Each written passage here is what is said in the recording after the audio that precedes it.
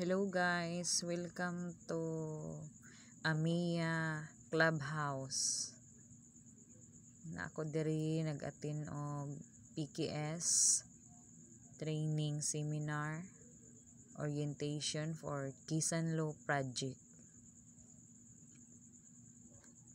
The City Hub team, Team City Hub yan. Nakasama ko sa City Hub.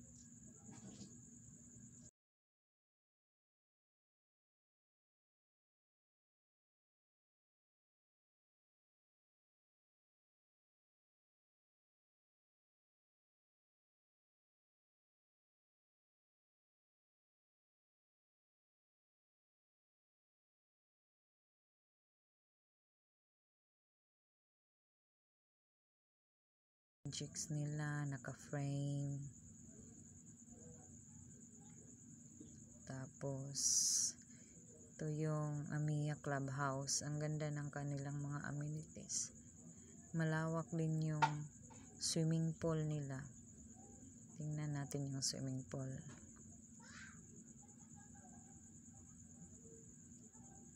Yan oh.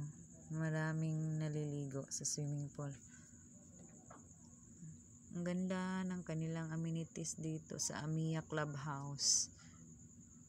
Super laki ng swimming pool, oh.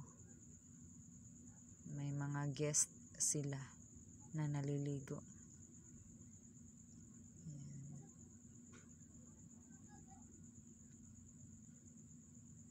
Taking videos muna sa kanilang amenities.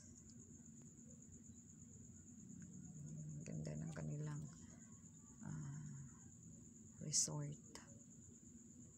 Super nice. Pagkatapos yan punta kami sa site for the viewing sa mga projects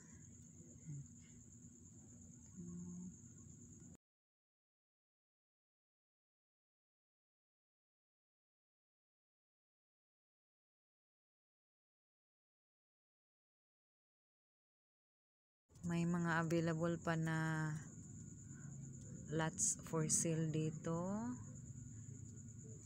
Sa Bilia. Ay sa Amiya pa to sa Amiya. Amiya ang laki.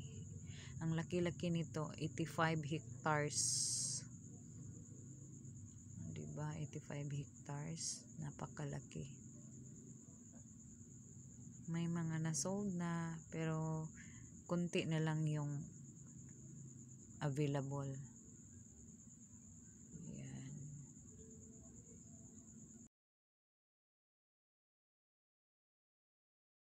Eighty-five hectares ang Amiya Resort and Residence.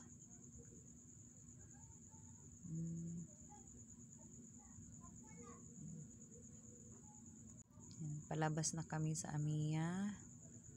Next Villa Conchita na tayo. Villa Conchita next. Yan dumating na kami sa Villa Conchita. Ito yung model house ng Villa Conchita. Taking pictures. Yung kasama kong ahinte Ayan.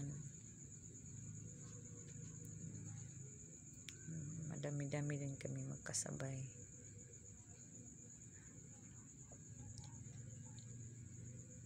Ganda ng ano nila projects. Ang ganda oh.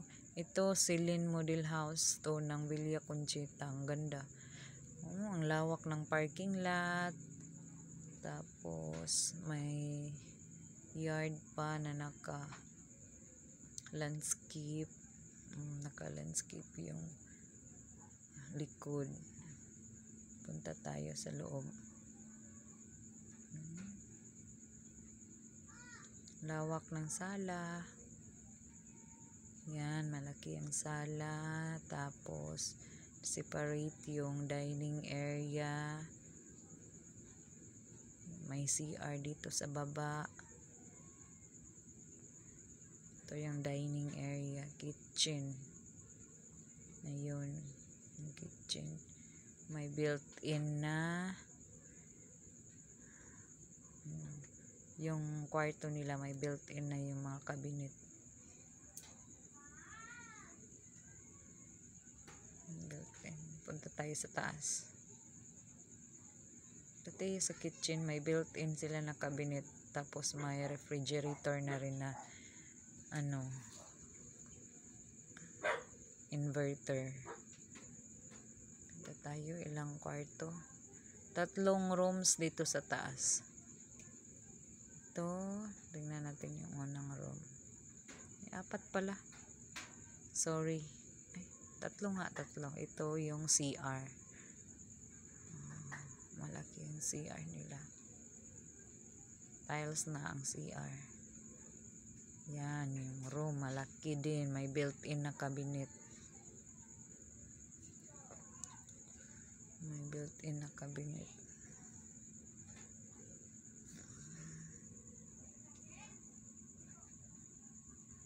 Ang laki ng cabinet nila.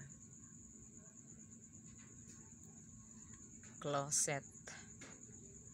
Malaki ang closet cabinet. Ito, sa kabila na naman tayo. Ito, mga ideas lang to guys ha, kung ano yung sa room nyo para makatipid sa space. Yan, ideas. Pwede ka maglagay din ng double deck. Ito yung master's bedroom, malaki. Ito oh, malaki, malaki. May sarili siyang CR.